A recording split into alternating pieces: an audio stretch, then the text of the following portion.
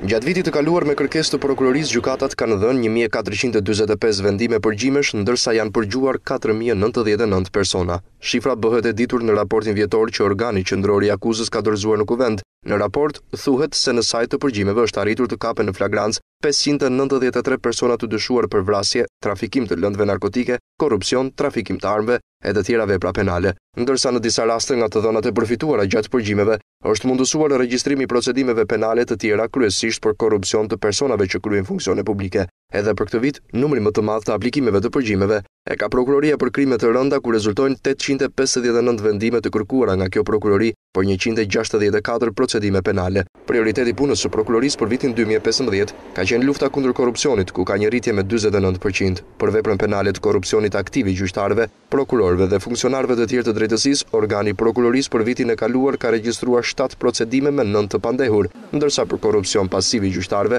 prokurorëve dhe funksionarëve të tjerë të drejtësisë, Prokuroria ka regjistruar njëzet e pesë procedime penale me nëntë të pandehur. Një tjetër vepër që ka pasur numër të lartë procedimesh, është vjedhja e pasurisë ku dominojnë vjedhja e energjisë elektrike ose impulseve telefonike.